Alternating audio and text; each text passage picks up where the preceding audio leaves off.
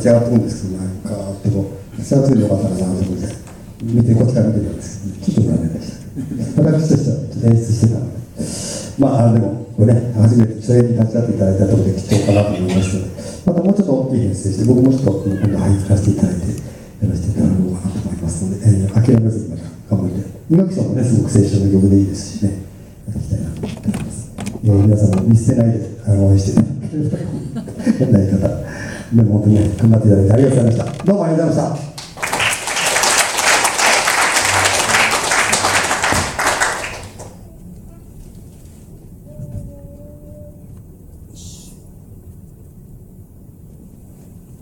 それでは第一部ではあの生きるという谷川俊太郎さんのね証言でしたが、えー、っと荒谷市の駅前の古本屋さんで買った、えー女性詩人たちばっかりの詩集っていうのがありまして茨城蓮子さん。の中にですね、えーまあ、刺繍の名前はラメールという海ですねラメルってもう廃刊になっちゃった鈴木ゆりいかさんという方がいて岡野年配だと思うんですが、えー、僕らはその、えー、役者さんに読んでもらったりして動画をアップしたら、えー、非常に尊敬とかリスペクトして自分のブログに貼っていただいてましたで今日はそういうふうにできたかちょっと頑張ってみるんですけども、えー、鈴木ゆりいかさんのちょっと青春っていうかまあなんですね人生始まった時のシーンであるか生きているかい。と思います生きているかい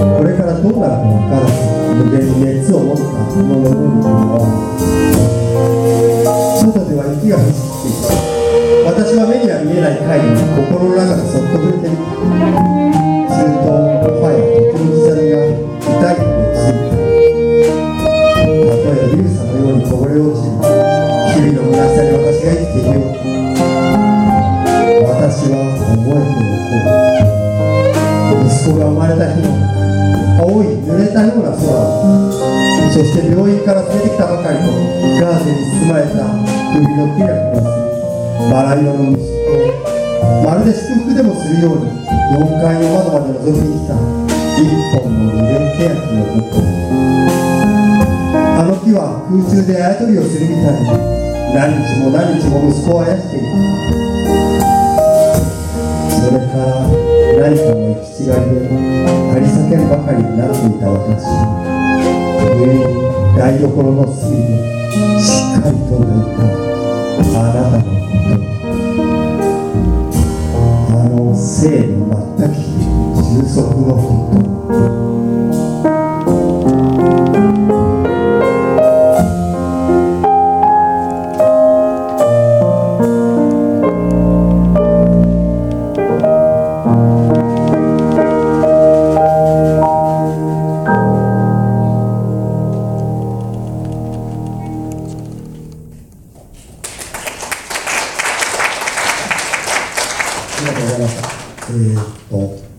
ディーシンサブルースってちょっと本でしか見たことない曲なんですが、あの、をつけてみました。えー、いかがだったでしょうか。まあこういう思いでね、あって、それであるかなと思います。じゃあ、もうそろそろ終盤、終盤の曲ですね。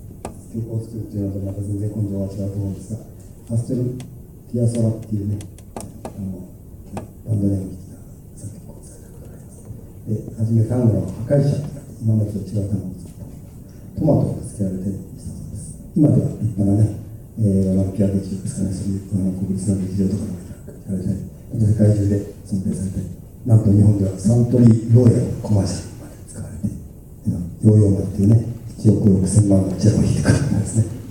えー、この人は、チェロ、あの、イエローキャブ、あの、タクシー上がり忘れたっていう逸話がありますけどね、ちゃんと帰ってきたって話です。そのリベルターを書かせていただきたいと思います。自由の単語でいいです。では、お願いしましょう。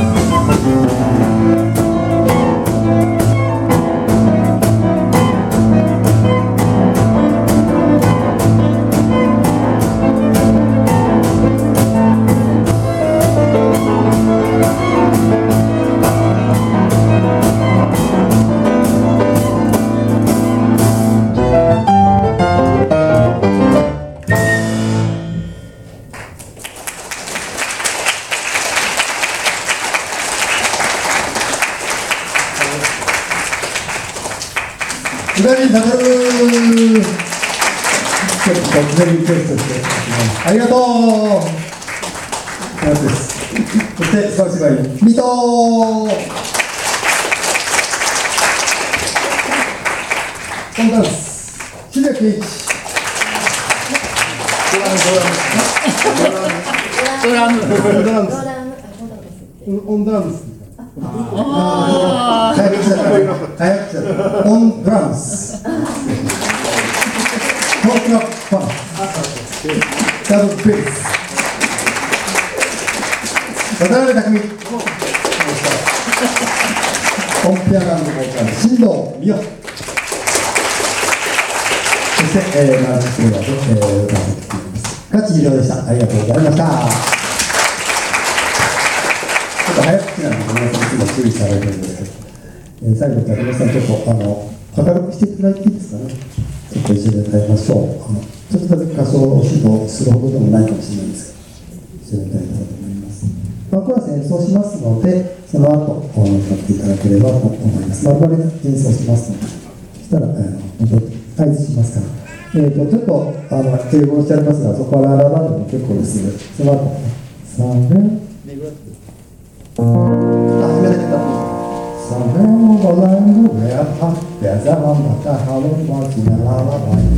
無理から、その後ですね、日本を作ったやつです。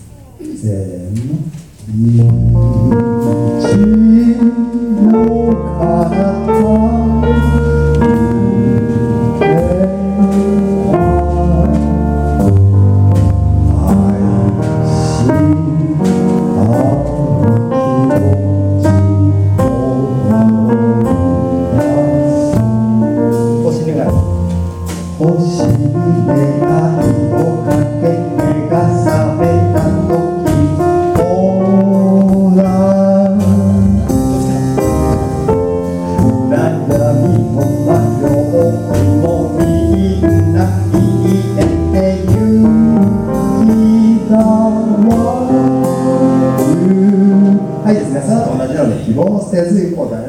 もが自由を愛する国誰もが夢を愛する国でしたね。では、えー、と聞いていただきながら最後にいきましょう。